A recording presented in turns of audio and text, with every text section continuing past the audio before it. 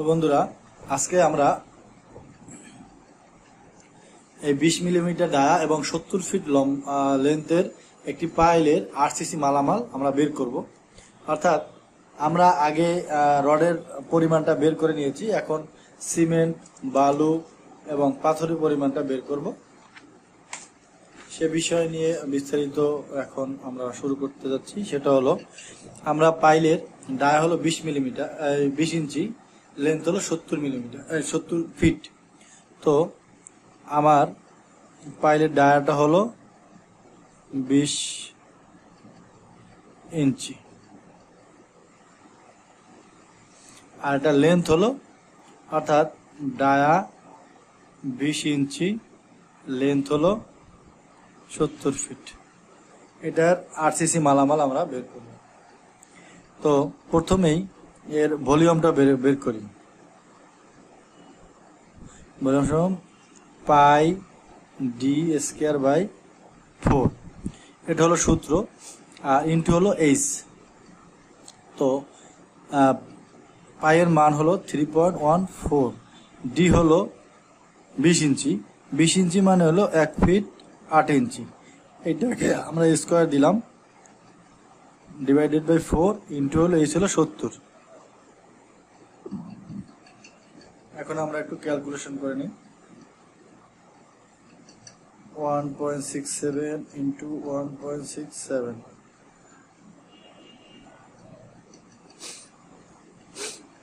three point one four into two point seven eight divided by four into হলো সত্তর।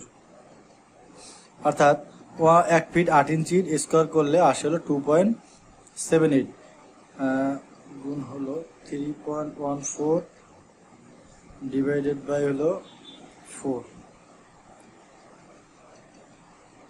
Into হলো সত্তর।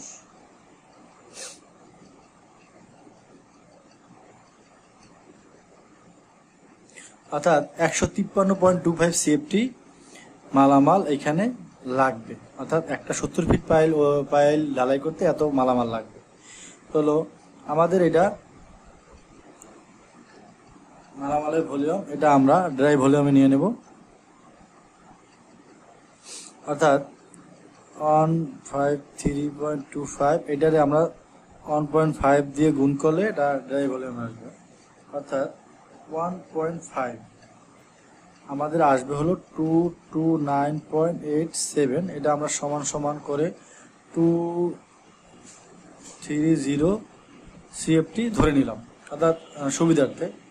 তো আমাদের পাইল কাস্টিংয়ের যে রেশিও রেশিও আমরা এক, দেড়, তিন।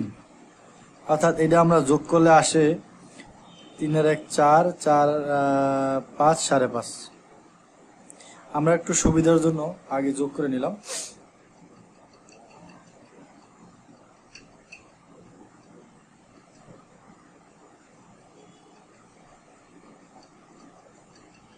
রিকোয়ার্ড ম্যাটেরিয়ালস আমাদের দরকার হলো সিমেন্ট, বালু এবং পাথর।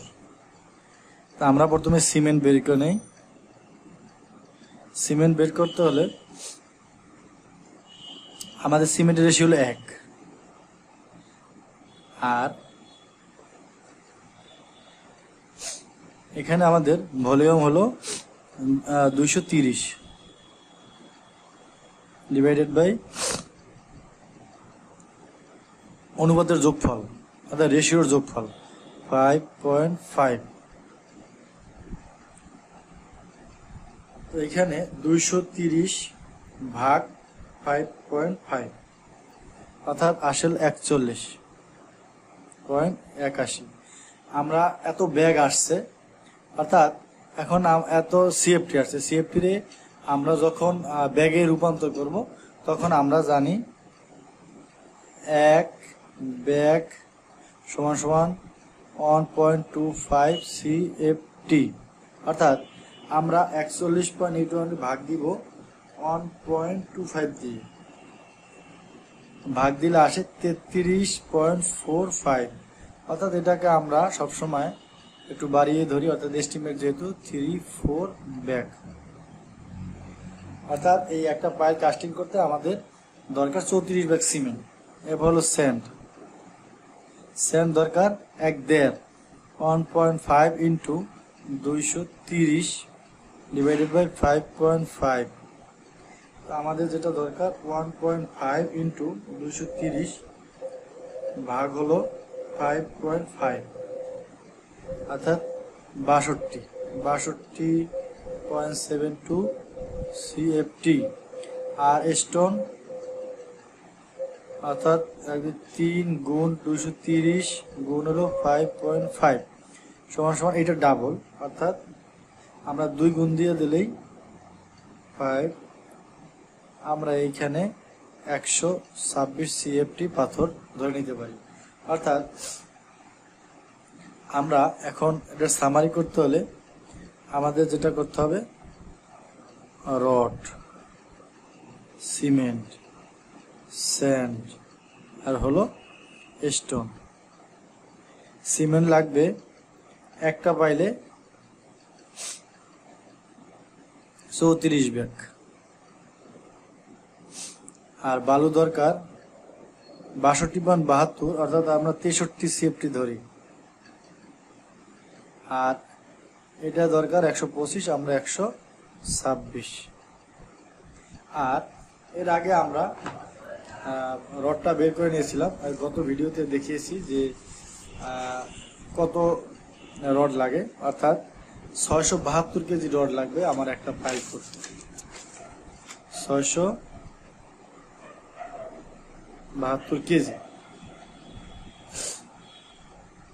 তো বন্ধুরা, আজকে এই পর্যন্তই। পরে আর একটা ভিডিও তৈরি করব, যেটা হলো এই মালামালগুলোর দাম এবং এই একটা পাইল করতে কি পরিমাণ টাকা খরচ হতে পারে? অর্থাৎ আনুমানিক একটা খরচ আমরা হিসাব করব। তো বন্ধুরা পরবর্তী ভিডিও দেখার জন্য আমরা আগাতে থাকব এবং নতুন একটা বিষয় নিয়ে আবার ভিডিওটা তৈরি করব। তো বন্ধুরা, আজকে পর্যন্তই। ধন্যবাদ সবাইকে। ভালো থাকবেন।